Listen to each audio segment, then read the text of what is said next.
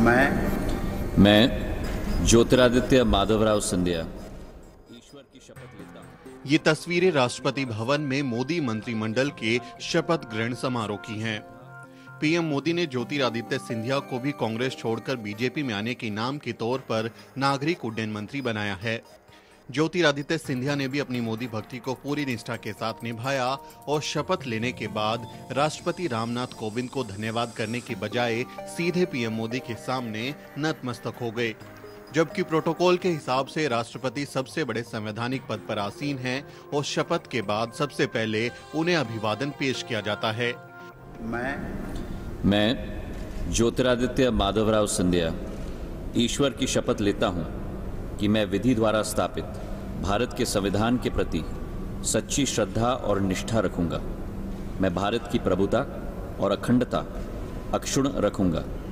मैं संघ के मंत्री के रूप में अपने कर्तव्यों का श्रद्धापूर्वक और शुद्ध अंतकरण से निर्वाह करूँगा, तथा मैं भय या पक्षपात, अनुराग या द्वेष के बिना सभी प्रकार के लोगों के प्रति संविधान और विधि के अनुसार न्याय करूँगा।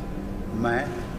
मैं, ज्योतिरादित्य माधवराव सिंधिया, ईश्वर की शपथ लेता हूँ कि जो विषय संघ के मंत्री के रूप में मेरे विचार के लिए लाया जाएगा अथवा मुझे ज्ञात होगा, उसे किसी व्यक्ति या व्यक्तियों को तब के सिवाय, जबकि ऐसे मंत्री के रूप में मैं अपने कर्तव्यों के संयुक्त निर्वहन के लिए ऐसा करना अपेक्षित हो, मैं प्रत्यक्ष या अप्रत्यक्ष रूप से संसूचित या प्रकट नहीं करूँगा।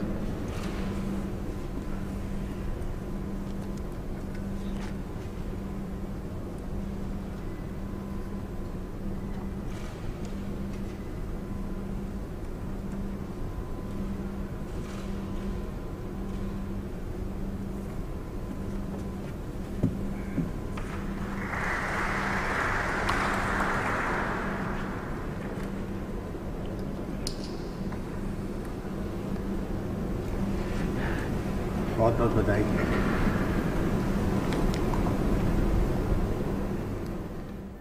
लेकिन शायद राजघराने में पले बड़े ज्योतिरादित्य सिंधिया को एक दलित राष्ट्रपति के सामने झुकने की जगह इनाम के तौर पर मंत्री पद देने वाले पीएम मोदी के सामने झुकना ज़्यादा सही लगा होगा। बाद में गलती का एहसास होने के बाद सिंधिया राष्ट्रपति को शुक्रिया कहने आए।